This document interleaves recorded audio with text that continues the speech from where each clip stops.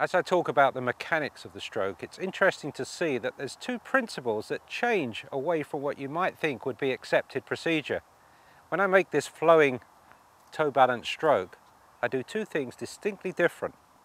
From the address position, you'll notice that the putter face will appear to open up in the backswing. As you look at it face on there, you see quite a lot of the putter face. Come square into impact, then after impact you hardly see the face at all, it's closing. Now that appearance of opening to closing is really just staying square to the arc. And that's the second point that I want you to see here.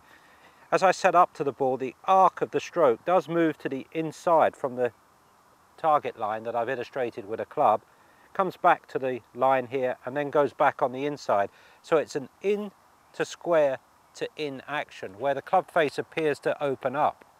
Now the power for this stroke is coming from the shoulders and upper arms. And some players who use this style even have a little bit of complementary wrist action.